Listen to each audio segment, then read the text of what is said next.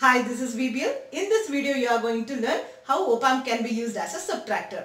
To do this analysis, I have taken two cases. The first case is where you will be applying the voltages which is to be subtracted in the single terminal of a op-amp. Other terminal will be grounded. In the second case, we will be applying the input voltages which is to be subtracted in the two different terminals of op-amp. Let us get into the topic with the first case.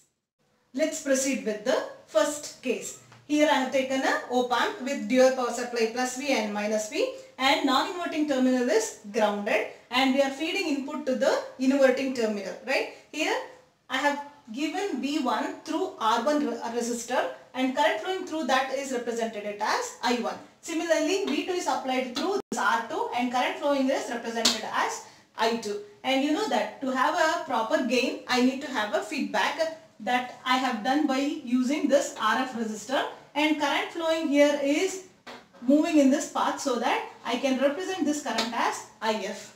Okay, this is all about the circuit construction.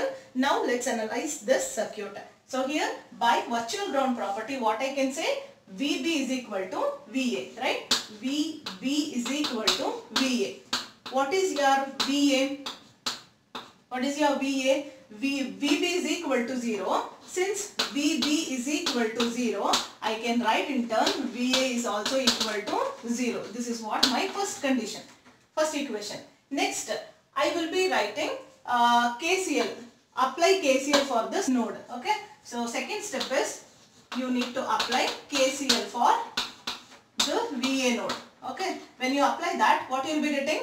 I1 is entering here and I2 is entering here and the current leaving is IF. What KCL says?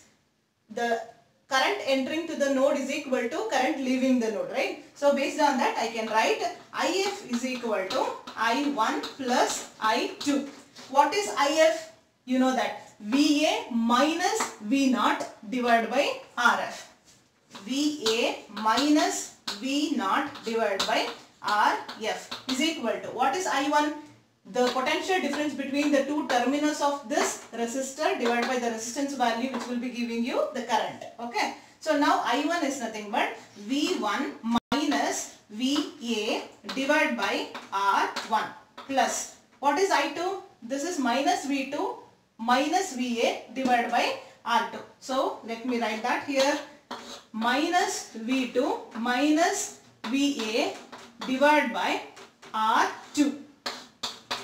So here you know that what is VA from equation 1 I can write from equation 1 I can write this equation as minus V0 divided by RF. You know that is VA is 0. Then apply VA is 0 in all the uh, terms. So here V1 by R1 and this is minus V2 divided by R2 minus V2 divided by R2 and if you assume I take if assume RF is equal to R1 is equal to R2 so when you take the values of RF R1 R2 same then what happens? This will be equals to minus V0 is equal to V1 minus V2 okay? So I just apply this minus 2 towards this uh, right hand side. So that what you will be getting? V0 is equal to minus into minus this is plus V2 and then minus V1 so V0 will be equals to V2 minus V1 so this is a subtracted value which you will be getting at the output terminal V0 this is all about the first case Hope you like this video. Kindly like, share, subscribe for more videos and press bell icon to get upload notification and don't forget to comment your topic of interest in the comment section.